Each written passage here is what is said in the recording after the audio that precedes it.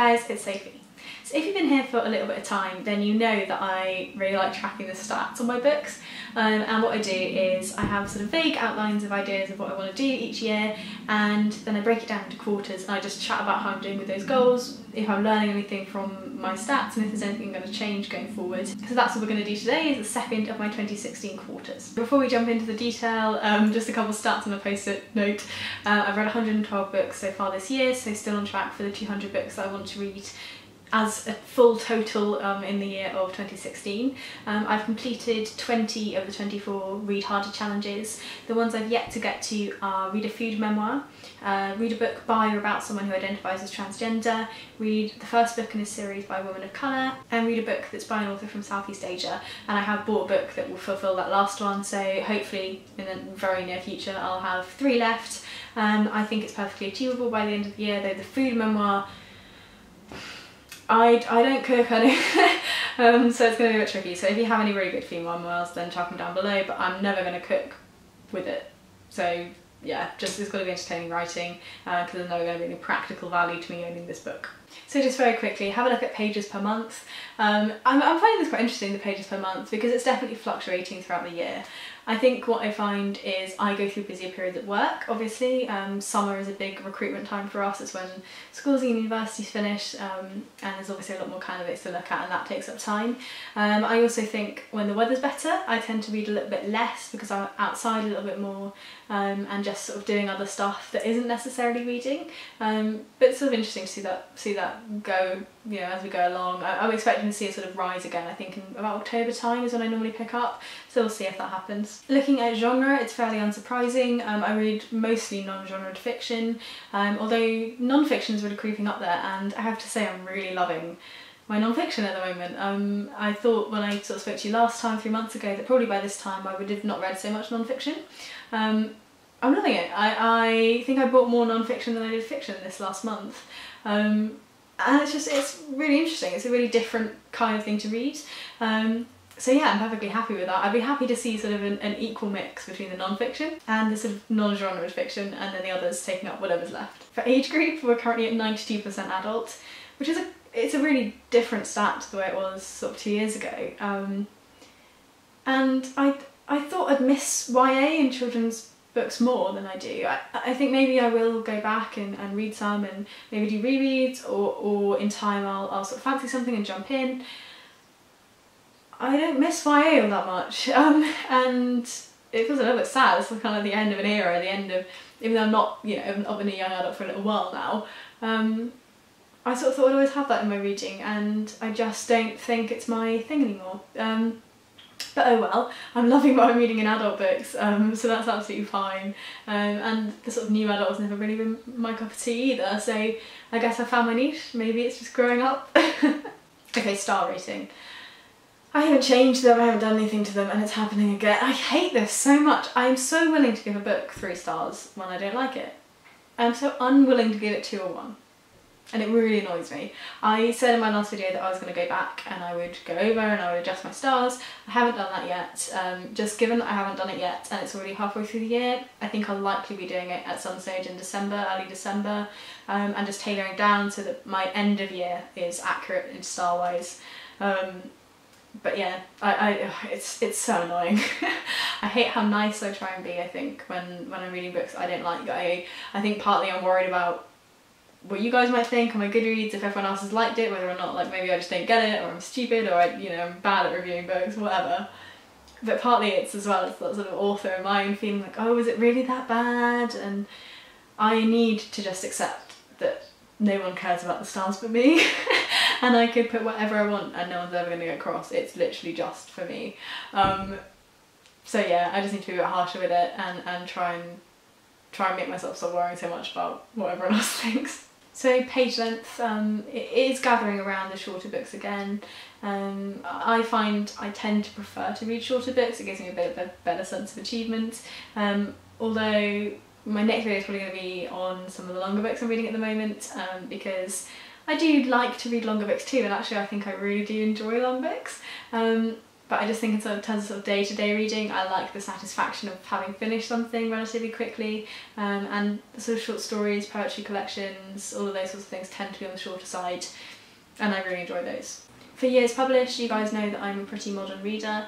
Um, I tend to be reading everything that's a new release. So whilst you'll see there's this sort of little section of 2016, um, I tend to find that I gather around that sort of 2010 to 2015 uh, grouping um, because I like to see a few reviews of stuff before I go out and buy it unless it is right on my street and I just have to get it.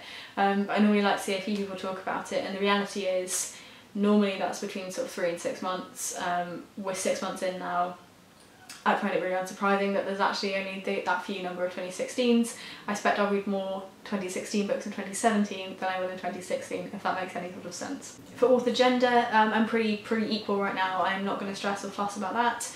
Um, you know that I had sort of eased off reading loads and loads of women because I've managed to, to make it uneven um, in my last quarter, um, but I'm just going to keep an eye on it as we go along, but at the minute I'm fine with that perfectly as I want it author nationality, the States is just creeping up again. So I, I think because I stopped looking for women when I was trying to adjust my, my balance back slightly to the guy's side, I stopped looking for people who are different full stop um, and I stopped reading so much translated fiction as well. I just went for my standard white American male authors um, which tends to be the bulk of what I was historically reading. Um, I've, I've, still read from 21 countries so far this year and we're only six months in. Um, I read from 22 countries in total last year so I'm not upset with how much I've read or how, how many international books or authors countries I've read from.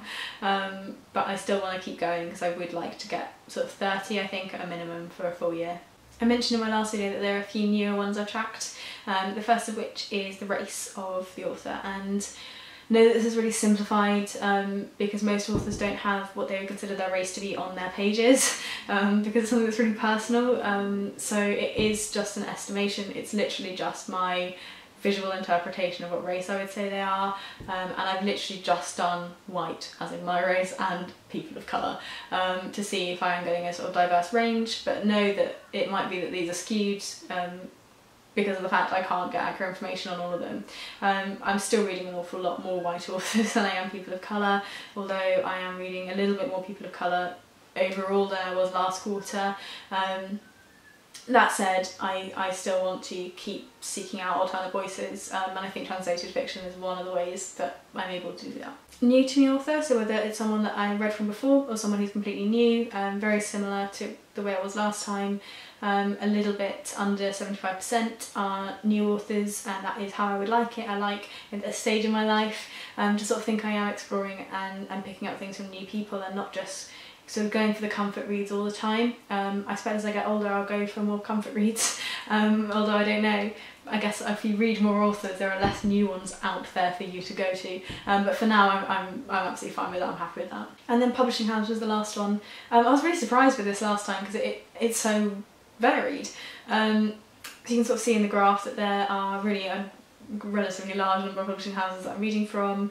Um, Bloomsbury Vintage and Penguin are the three largest areas on that uh, graph. Um, but I've, I've read from so many different publishers this year and I'm, I'm really surprised by how varied the books I'm choosing are in terms of who they're published by. Um, which is quite nice in a way because it probably means I'm not going for displays and I'm not just being drawn into sort of the bookshop's sales and marketing um, that I am actually choosing stuff I'm finding interesting. Um, so I'm fine with that, we'll keep looking at it, we'll see what happens by the end of the year. And then really quickly I just wanted to show you one more graph that I want to add in um, and that's purchase location. Um, so I think it's fairly boring just to show how much I bought of what genre because most of the time now I'm reading it. Um, but I thought it might be interesting to see where I'm buying books from. Um, so the graph up there you can see the largest one is the orange one that's actually my local Waterstones. um, they know me pretty well in there. I'm in there a lot. I'm in there at least probably twice a month. Um, and the second biggest one is that dark blue one, that is Amazon. Um, so online shopping of any variety is about 25% of my book buying.